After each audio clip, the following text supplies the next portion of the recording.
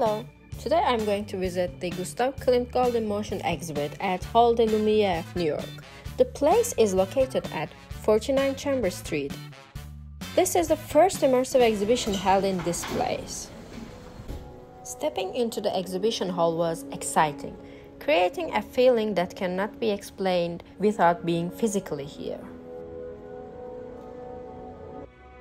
Hans Makart was an Austrian academic history painter and has a huge influence on Klimt. Here we see decorative paintings from 19th century Vienna. The columns and teller cages were kept from the original bank architecture. The building was known as the Emigrant Industrial Savings Bank and was built in the early 1900s in the Beaux-Arts style.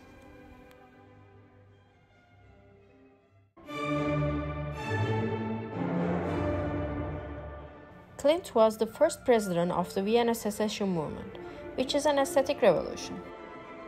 The focus of the movement was to highlight artists from all around the world and to move away from strict adherence to traditional modes and rules of art.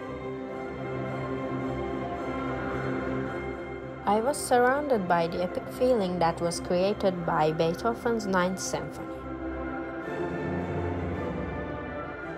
This artwork, celebrating Beethoven, is still on display at the Vienna Secession Building. The tree of life and its branches, growing slowly and enveloping the audience. This is one of Klimt's monumental scale works. Pallas Athena was used as the poster for the second exhibition of the secession.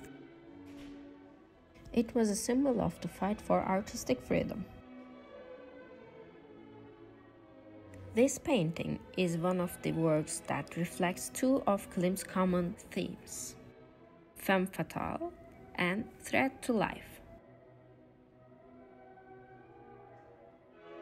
Here is Klimt's best known work to date, The Kiss. The infinite cosmos of the Golden Fox surrounds the lovers, not only them, but it also envelops the visitors.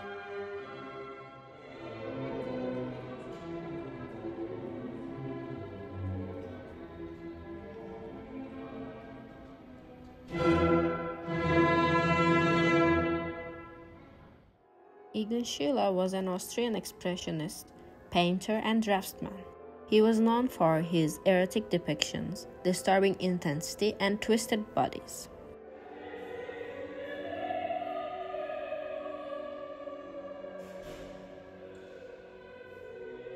The projected golden flakes spread around, and it creates an illusion of being inside a golden nebula.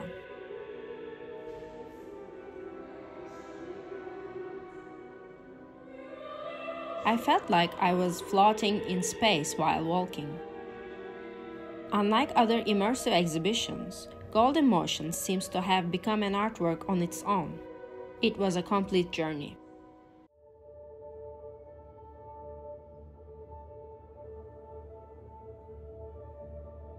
Hundertwasser was a 20th century artist, printmaker, and architect. Inspired by the Vienna secession movement, especially by the work of Egon Schiele and Gustav Klimt. Later, he became an environmental activist. Five Movements is a 10 minute audio-visual experience. The work includes five different types of dance choreography that are showcased by five performers. The exhibition is shown simultaneously in the basement, and there are a couple of areas worth seeing. One of these areas is an artwork that was placed in the bank's vault.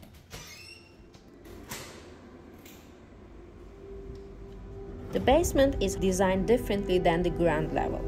It is a more comfortable environment.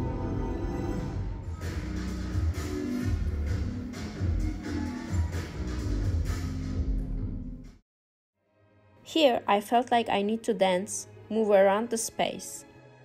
I think it also creates a space for having a kinesthetic experience. The mirrors on the columns allow visitors to see the artwork from various angles. Also, you can take nice mirror selfies if that's your thing.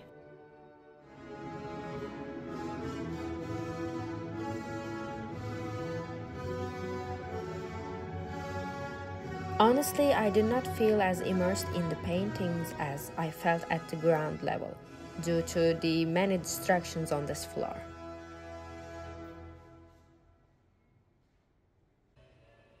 What makes visiting a bank interesting and exciting? I think it's getting into the vault. The immersive short movie experience placed in the vault, which was covered with mirrors, creating an infinite illusion the feeling of eternity. The Gold in Motion exhibition was the most immersive experience that I have ever been to. I felt like I was doing a sort of time travel, while Klimt and Hundertwasser made me feel like I'm in the past. Five Movements brought me to the present, and Recoding Entropia opened the door to the future. The whole exhibition takes about one hour, but I stayed there longer. I really enjoyed it. The exhibition is open until December 31st. Thank you for following me through this journey. See you next time.